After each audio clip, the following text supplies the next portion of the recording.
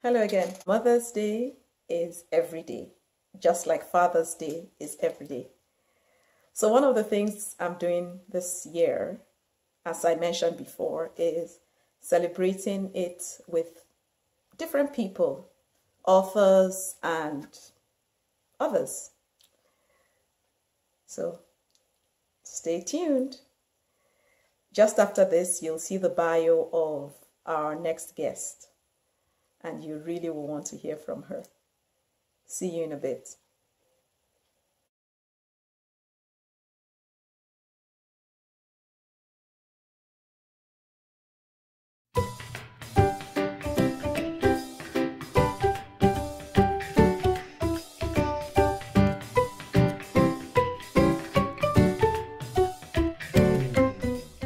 Welcome, Miss Linda. Well, thank you. I'm glad to be here. I really am. I am so glad that you're here. A couple people may already know you, some people may have seen your bio, but can you please introduce yourself very briefly? I will do my best. I'm uh, Linda Wood Rondeau. I've been writing for about 20 years. Before that, I was a social worker with uh, various departments within social services. Mm-hmm. Um, I also worked for Office for the Aging, and I worked for a program called uh, Healthy Heart Association after I retired from social services. I worked with children and their families. I worked as a school social worker in liaison with social services. I have worked as a hospital social worker. I worked in a nursing home um, as the director of social services for the nursing home. So I have a very broad spectrum in, in human services. I, you know, crazy, but I, God was preparing me for this writing career. Obviously. I, yeah, I retired from human services um, at the age of 54. Ooh. I walked into work and God said, You're not coming back here. You're done. You oh, wow. promised me 15 years ago, you were going to write for me. It's time. So don't, I don't recommend this. I recommend authors keep the day job for a while, but God had a different plan for me. I packed my packed my desk up and I was done that day. Um, that never happens in human services. Usually have to get 30 days notice, but I talked to all yeah. my supervisors and mean, God had it all worked out. And then he said, I want you to write. So, what was I going to write? Mm-hmm.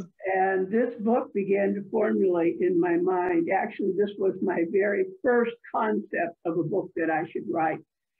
So we'll go into that more. But anyway, that's a little bit about me. wow, that is quite the story. Thank you. And thank you for sharing the courage to, so to speak, go out on the limb, obeying God. It was going out on the limb because my husband was the last person I told I was resigning. but he's been a great supporter of me. oh, that's wonderful. That's wonderful. So you already alluded to the book we're going to be talking some more about. And every time I remember the title, I'm almost like, oh my, oh my, what a wonderful title. This our interview is part of our series celebrating Mother's Day this year so you know what what an apt title what an apt title so okay i need to stop laughing so i can keep laughing. I get that same expression every time we tell somebody the title, especially if they're parents themselves. yes. So please, can you um, you know, tell us a few of the highlights of the book and even read a part of the book to us, please. Again, I will try to condense. Um, the, the book is formulated into six sections, and I call them arenas of parenting uh, persevere, teach, um, in our relationships, being a friend, uh, the different aspects of, of a parent's experience raising a child. And then uh, each section has a, a quip or, I mean, a cartoon. Um, you know, I don't know if you can share when you bring this up for your advertising, share one of the cartoons. Um, and it, it uh, has a, a quote in scripture verse, all intermingled with a very short devotional. And then after the devotional, there's an insight and a prayer. And I thought the one I would share with you is called Patient Praying. Now, the, uh, the, the cartoon is the one with Daisy at the washing machine that's overflowing and she's raising her hands to heaven and saying, with all the technological advances in our culture today, why can't someone invent a child destabilizer? Yes. yes. And then, then the quip beforehand says, I multitask my worries. I pace during the spin cycle. Oh. and a little bit from the devotional. First, first I'll read the uh, scripture reference. Do not be anxious about anything, but in everything, by prayer and petition with thanksgiving, present your requests to God. And the peace of God, which transcends all understanding, will guard your hearts and your minds in Christ Jesus. That's Philippians 4 6 and 7. Now, this particular Devo was based on uh, my insights from when my son, my youngest son, uh, gra- graduated from military basic training. And if anybody knew my son, whenever they heard he was going into the army, their mouths just went like this. Because he's the destabilizer I wish I, someone would invent. Oh, he was a very, very difficult child to raise. And I whooped and hollered with more enthusiasm than a teen at a rock concert. Among all the parents present at that basic training graduation, I was among the most grateful. Jim could have penned the book, The Art of Passive Resistance for Children.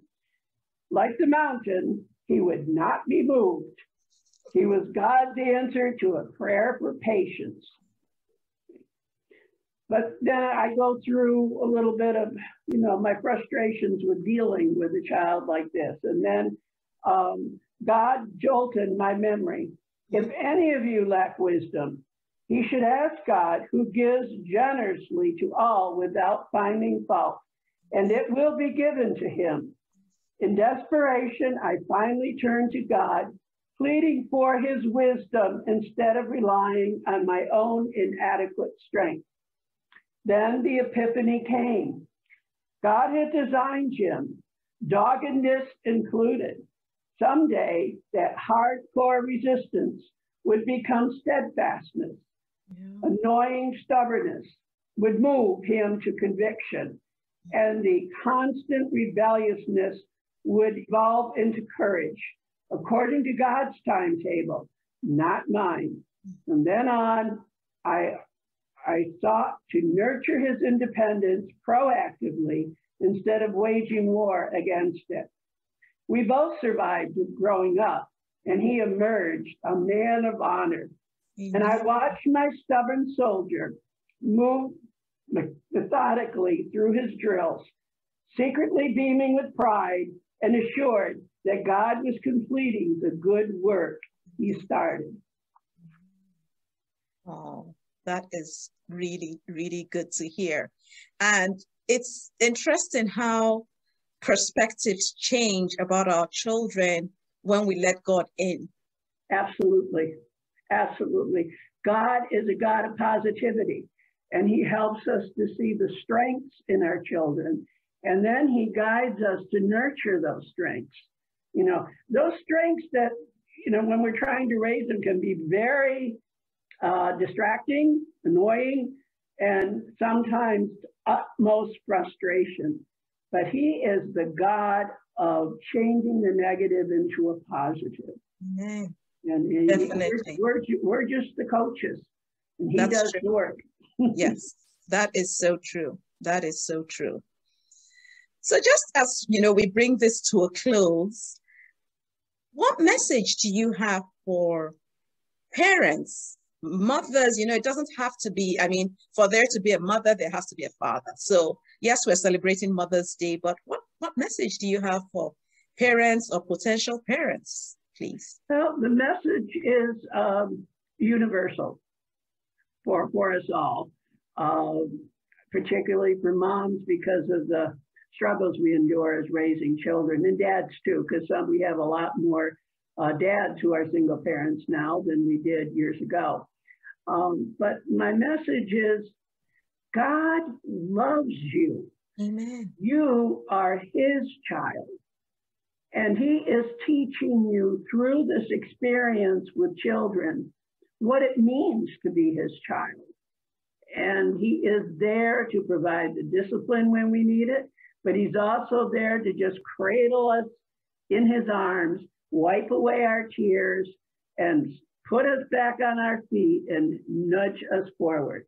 He mm-hmm. is our loving Father. And that's the message I want folks to understand as they read this book. That was what was intended. Thank you. Thank you so much, Miss Linda. One of the things we'll do at the bottom of this video is, you know, add your website so people know where to get copies of this and your other books. Everything's on Amazon. Yes. Both an ebook and print. Mm-hmm. For sure. I'd like to thank you once again for joining me in the Quip Corner. Oh, it's been a pleasure. Thank you very much for inviting me. And I wish all the uh, mothers out there a happy Mother's Day. And uh, may the Lord bless you and keep you. Amen. Amen. Thank you. What did you think about the conversation with Miss Linda? I really love the title of her book, Asking for Patience and God Giving You Children. For all of us, whether or not you're a parent, I'm sure you can relate with that title. Maybe because of the kind of child you are or were, or maybe just with the things you're having to deal with as a parent. Well, it's great to know that the message she has is a universal one for families. So that's a great book, if you ask me, because I'm sure every member of the family can relate with it.